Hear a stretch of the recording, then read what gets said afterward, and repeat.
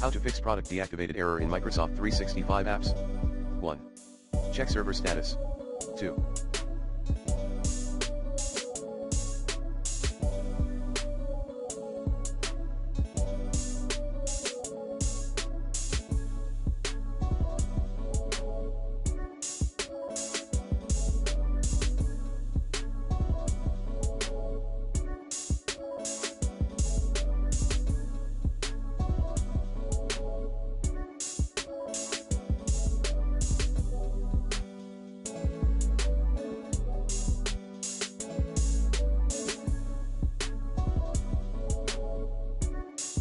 Verify Microsoft 365 subscription status.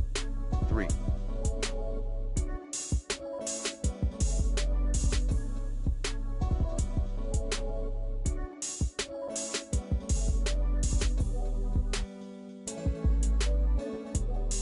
Use Microsoft Support and Recovery Assistant as admin.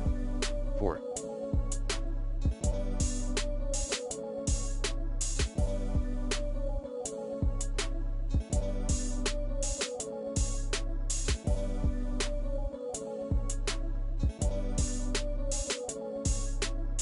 Make sure you have the correct Office installed in your MS account. 5.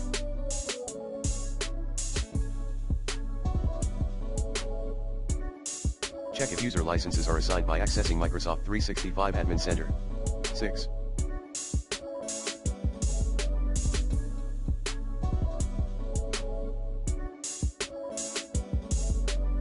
Temporarily disable third-party antivirus. 7. Activate Office in Windows Clean Boot Mode. 8.